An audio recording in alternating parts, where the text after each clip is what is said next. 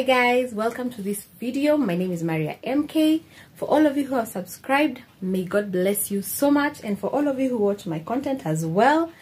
And if you watch and you've not subscribed kindly consider subscribing. Today i am doing my living room cleaning and reset with you. So let's get into the video. I usually do a deep clean on uh, weekends because it's the only time i have. Since i am a working mom with no nanny and i work at 9 to 5 from monday to saturday but saturday i do uh 9 to 1 so let's clean my house actually it's not the house it's the living room let's set the living room This is the current situation of the house. Today it's even a bit better. Toys are not everywhere, books are not everywhere. But yeah, but it is very, very dusty. That is a pile of clean laundry that needs to be folded. The carpet is also dirty. Look at the windows. There's so much dust. So, so much dust. And imagine I clean this every weekend. Eh, I think it's because it has not rained recently. So let's sort this out. I have two buckets of water. The first one, this one has uh, detergent, uh, jik, and uh, it's the one I, I will use to wipe the surfaces. And the second bucket has detergent, a bit of jik, and fabric softener. And I make my own detergent. Uh, if you'd want to see how I make my own detergent, jik, and fabric softener, kindly comment down below. I'll even show you where I buy them. So I'll start by vacuuming uh, the seats, then I'll vacuum the carpet.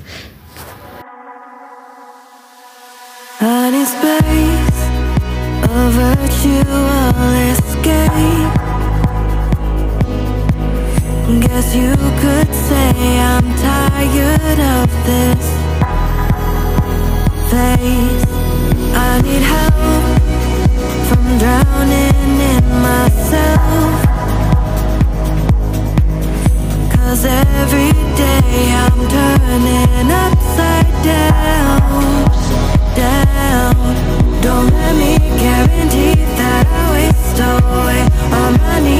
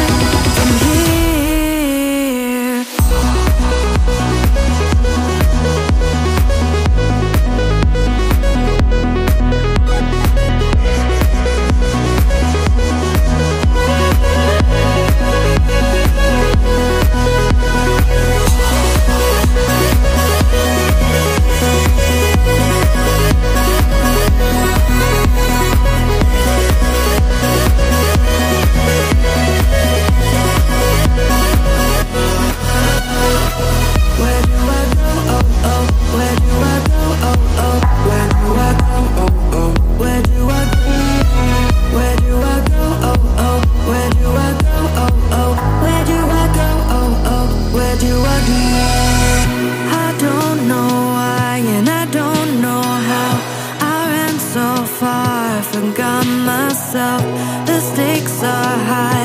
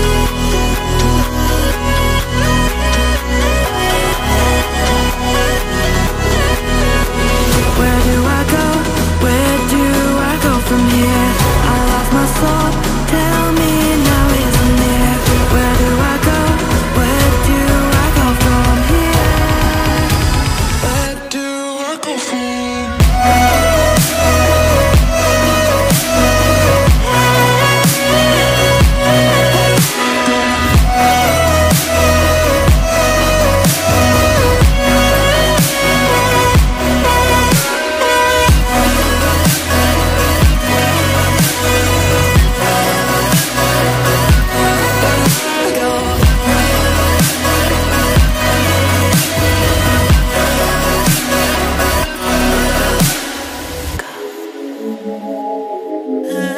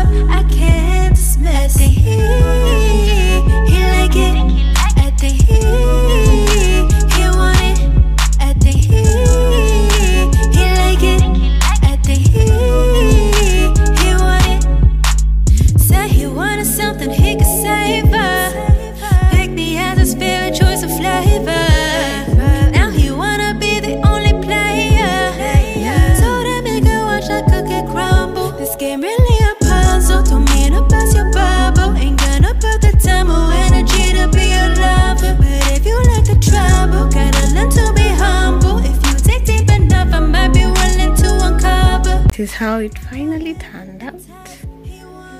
The house is clean and I have set it up with red, bit of red and a bit of green because on Tuesday is Valentine's Day. That is the final look of the house. So guys, I have just finished cleaning and it is so so hot. I want to go and get my hair undone and change my hairstyle. And next week on Tuesday is Valentine's, so I've changed my house to just a teeny bit of red. Thank you so much for watching this video. If you have tips for me for cleaning next time, please let me know. And also my own uh, cleaning detergents. I make my own soap. I make my own jik and uh, fabric softener. So if you want to see that video, kindly comment down below. See you on my next one. Bye.